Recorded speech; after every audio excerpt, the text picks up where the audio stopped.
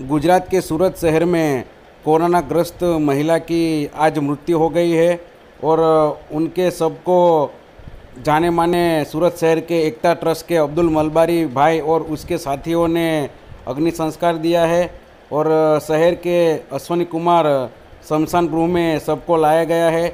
और आप देख रहे हो कि कितने चुस्त नियमों का पालन करते हुए सेफ्टी के साधनों के साथ सबका अग्नि संस्कार कर रहे हैं। और आप देख रहे हो fan of Bahujan news channel.